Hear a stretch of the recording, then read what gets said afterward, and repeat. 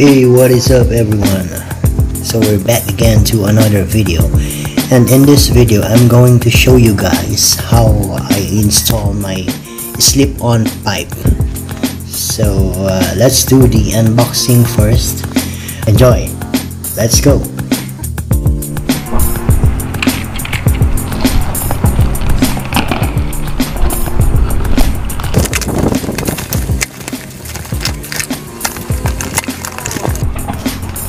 so first. Is the clamp. Clamp with the rubber and then of course the expander or I don't know what it's called. And then the nut and bolt and then the spring. And then the extra hook. And then also what else?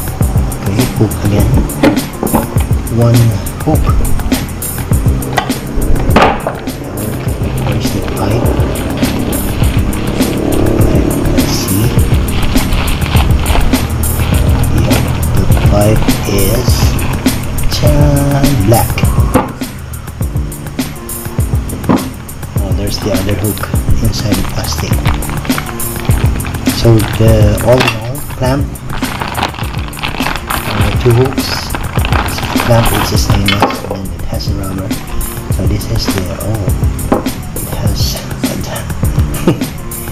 of course it's just you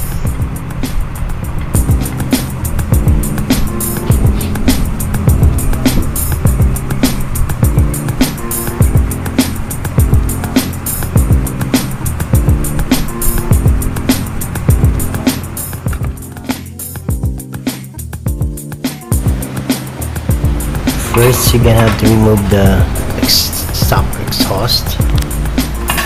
The stock exhaust has two bolts one under the one in the foot peg. So let's remove that bolts and get rid of the stock exhaust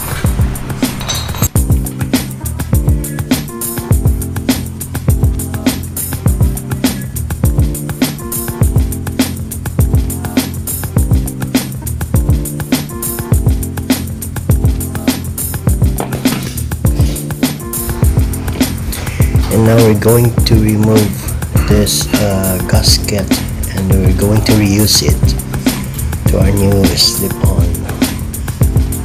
um, elbow. So just be careful uh, on removing it because it's it might be little brittle or it's not as strong as the new one because it's old. So try try to be careful